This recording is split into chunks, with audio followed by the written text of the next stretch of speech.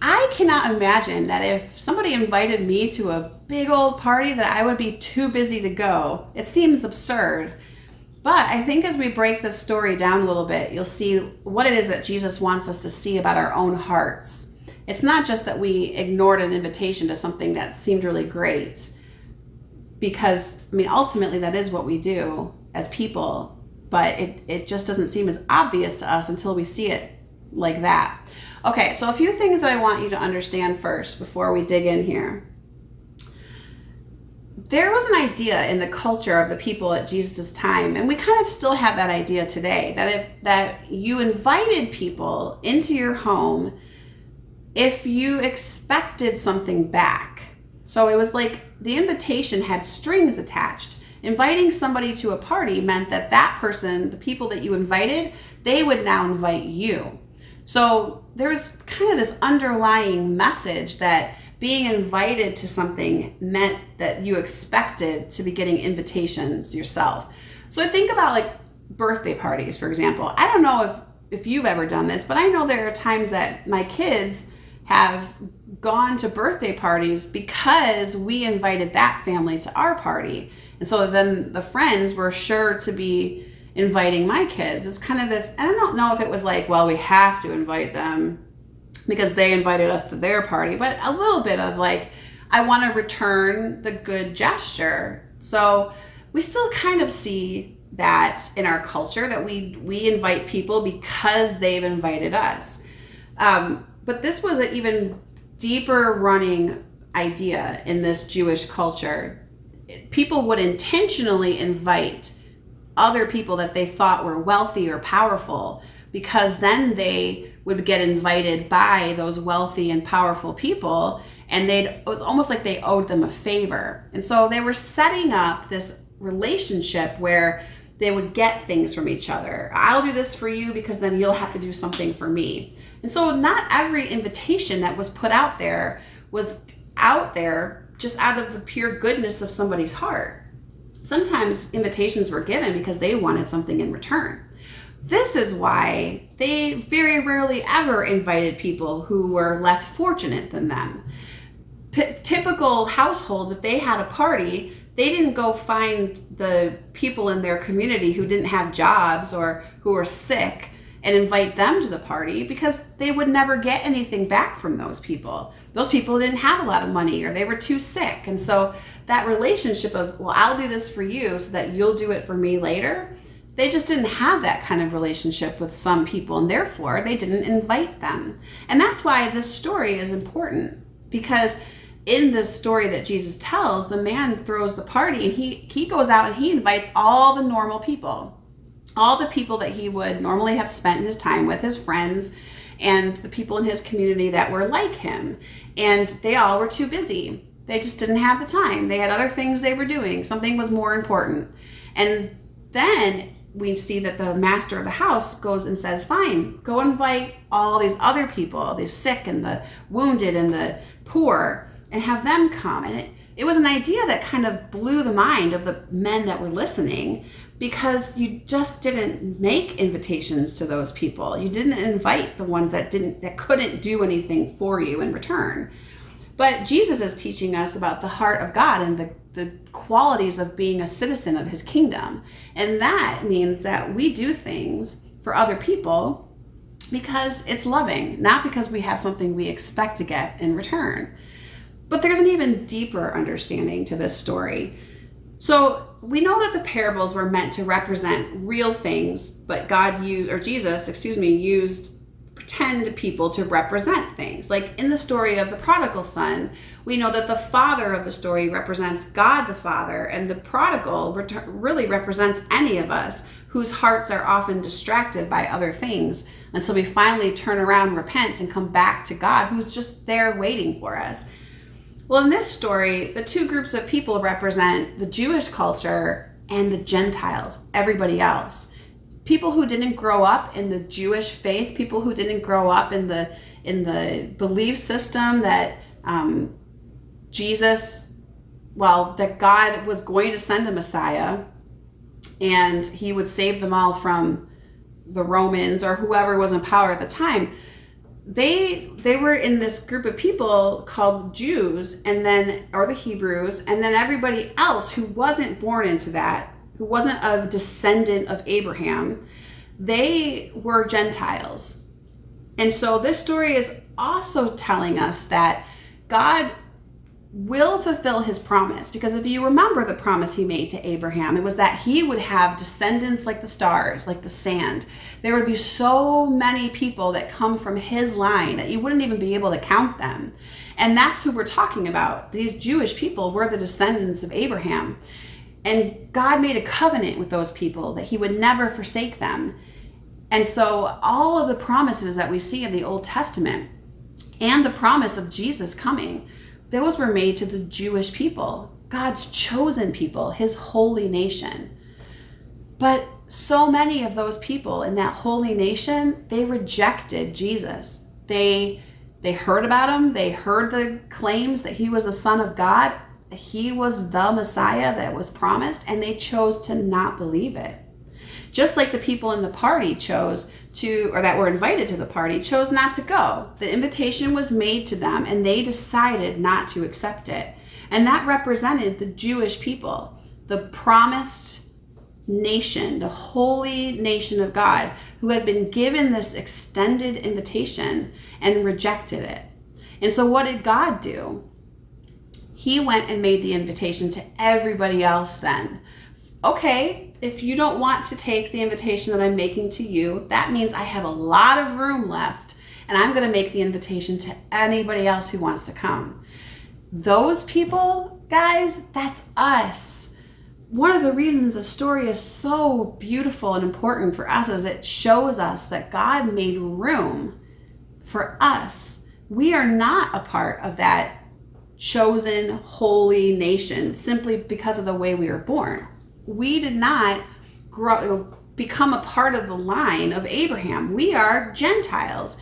And yet, because of Jesus and because of the invitation that God made to everyone, we get adopted into the holy nation. So now I am 100% a part of the holy, chosen, promised nation and family of God because Jesus made a way for me to get there it doesn't matter that my descendants don't go back to Abraham.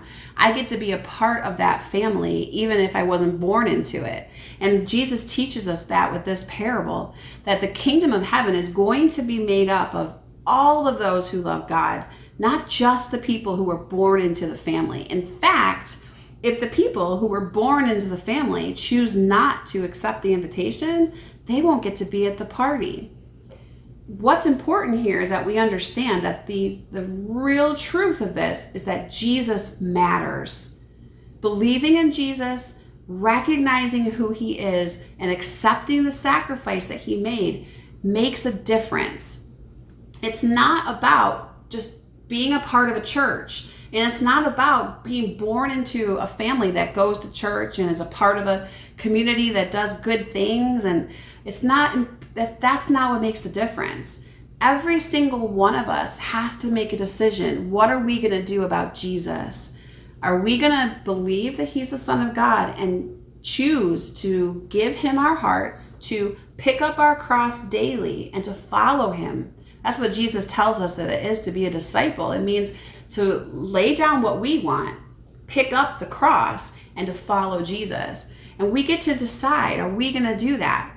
I have decided that I will follow Jesus. He, he gave me the invitation to be a part of his family, even though I wasn't born into it. And I'm deciding that I'm going to take that invitation. And because of that, I get to be soon and very soon sitting at that banquet table in heaven for eternity, being with Jesus forever. Because this party, this feast that he's talking about, is almost like a a foreshadowing of the great feast that we're going to have in heaven. In Revelation, John tells us that he saw a vision of this feast that we're going to be having, the marriage feast of the Lamb. And so the story does so many things. It teaches us that we get to be a part of God's family, even though we weren't born into it. And I am grateful and, and so humbled by the truth of that. It also teaches us that we have to make a decision Just because you're born into a family that believes in God, that does not mean that you automatically get to go to that party at the end. You have to decide what you're going to do about Jesus yourself. You have to decide to accept that invitation. Of course, why wouldn't we? I mean, if we're invited to a great party where we're going to get a whole bunch of stuff and we're not really expected to do anything in return, why wouldn't we go? Well, because we get distracted and we get busy and we get preoccupied with things that aren't important, just like these other people in the parable did. They made the things of their everyday. They just bought land, they just got married, big, exciting things. They make those things more important than the biggest and most exciting thing that'll ever happen. And that's taking the invitation that we were given. In our hide and seek questions today, we're going to dig into our own hearts a little bit. One thing I want us to think about is what excuses do you make to avoid Jesus' invitation? We have the excuses that these people in the parable gave, but we make our own excuses too. And at this age, and when I was young, a lot of times the excuse was, I'll get to it later. I'll get to it later. I've got so much time. If this is a decision that I can make when I'm older, I don't have to do this now. And of course, Jesus talks and gives other parables, in fact, about the importance of making our decision in the here and now and not putting it off. Because the truth is that, yes, there is some time, and, and we have until the very moment that our life ends to make our decision about Jesus. But if we want the life that we're living now to actually mean something and to be full of fruitful and peaceful things, then we're going to get there because of we make that decision now instead of later the more stuff of the world that we heap onto our backs, that's more stuff that we have to shed and get rid of when we do decide to walk toward Jesus and away from the world. And so, Jesus' goal for us, his hope for us, is that we don't have as much of that worldly stuff that we have to get rid of, that we come to him soon and quickly so that we have more of him, more time with him on this earth than we do of battling the temptations of the world. Another excuse that we often come up with for why we're not accepting this invitation right now is we make ourselves believe that because our parents have done it, we're okay. And if we talk with our parents, we will, all of us, hear stories of the moment when they realized that their decision to follow Jesus was about them. Your mom and Jesus had to make that decision together, and your dad and Jesus had to do that together. Their parents gave them a great and important foundation and pointed them in the right direction. But ultimately, the decision that they made to be with Jesus forever came from their own hearts. And the same will be true for you. When you decide that you are ready to follow Jesus, to be his disciple, you get to make that decision in your heart and it's between you and Jesus. And then you begin the great journey that is our walk with Jesus on earth. And He will reveal things to you and He will teach you about His love, but it will be your journey, not your parents. And so we will believe, we will accept and absorb at some point the idea that who I am to Christ has nothing to do with my parents and who they are in Christ. It's all about me and my relationship with Jesus. Those are just a couple of the excuses that we make sometimes. I know I've made both of those excuses. And I'm wondering if you have other excuses.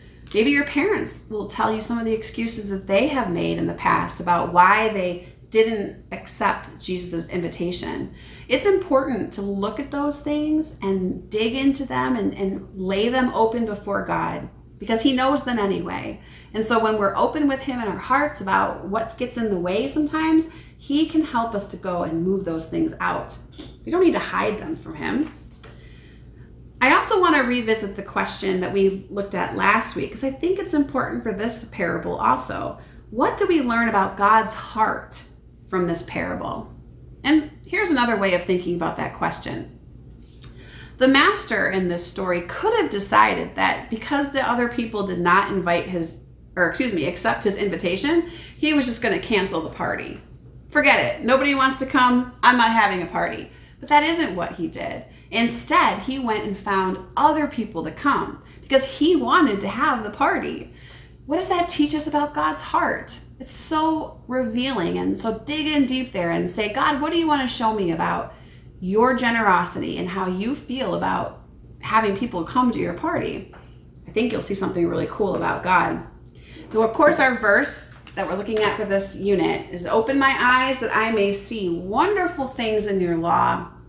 And in this passage here that we read in Luke, we're opening our eyes to see how God feels about Jesus, how God feels about spending eternity with Him. So I'm going to label our parable here as the Great Feast. Parable of the Great Feast. And what we there's there's so many things to learn, but one of the things that we want to pull away from this is that Jesus wants our hearts to be open and accepting. Okay, so that's what I'm going to write in my book. Jesus wants our hearts to be open and accepting so that when the invitation comes along, we know to take it. And we don't busy ourselves with other things and we don't make other things about this world our priority. We choose to make Jesus our priority. I have decided I am going to follow Jesus, no turning back. I'm going to put the cross before me and the world behind me. And that decision requires so many things. We've already visited some of those things in our parables it requires us to have a strong foundation, like we learned in the builders, the two builders, the one who built on stone versus or the rock versus the one who built on sand. In order to have an open and accepting heart, we have to have a repentant heart. We have to first recognize that we need Jesus, that without him we can't do this, and then we can accept his invitation. The prodigal son taught us that. In order for those truths that we're learning about being a disciple to take root, we have to have soil that is prepared. And that is about our heart too. We want our heart condition to be ready to take the truth of the word and to dig in deep and grow roots that can withstand all kinds of things. And then we have to recognize that the work that's done, that the gift that's given, that the freedom that we have to be with Jesus forever, his invitation is all because of his power. There's nothing I can do to make that happen.